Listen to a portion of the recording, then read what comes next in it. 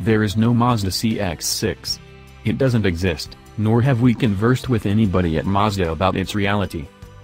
Nonetheless, let me now say that there should be a Mazda CX-6, or to put it another way, a Mazda 6 wagon that has been Allroad-ified with an unobtrusively raised suspension, plastic body cladding and all-wheel drive. You know, the way Americans lean toward their wagons.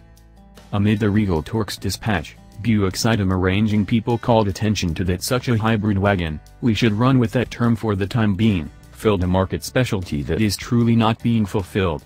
One that is more snappy and sumptuous than a Subaru Outback, yet more practical and more affordable than an Audi Allroad. It would take into account individuals who look for something else from the standard, both as far as brand and body style. Without a doubt, it's absolutely not a major market specialty, but rather it is apparently developing.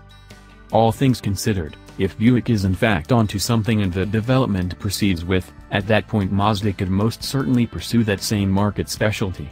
Without a doubt, it's a little specialty, yet every one of the three Mazda 6 Ages have sold in such infinitesimal numbers, 33,402 of every 2017, why not have a go at something totally extraordinary?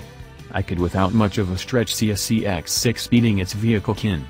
Such a Mazda hybrid wagon would just have a Buick and Subaru as rivalry rather than attempting to draw clients from the Honda Accord, Toyota Camry and each other moderate-size car when the whole section is discharging deals. It would likewise pleasantly supplement a lineup of hybrids that incorporates the CX-3, CX-5 and CX-9, giving yet another contrasting option to allure clients. Let me additionally say that, having driven both the Regal TourX and a Mazda 6, that the two could be cross-shopped. I'd contend the Mazda really has a more sumptuous lodge than the as far as anyone knows premium Regal, while Mazda's new turbocharged 2.5-liter, 250 drive, 310 pound-feet of torque, exceeds the Buick's powerful 2.0-liter.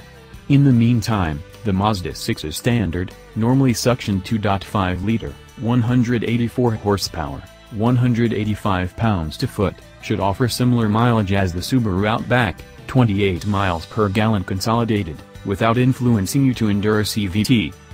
Presently, concerning including all-wheel drive, the Japanese market variant of both the vehicle and wagon, known as the Atenza, can evidently be had with it. Would it be able to be bundled with the turbocharged motor?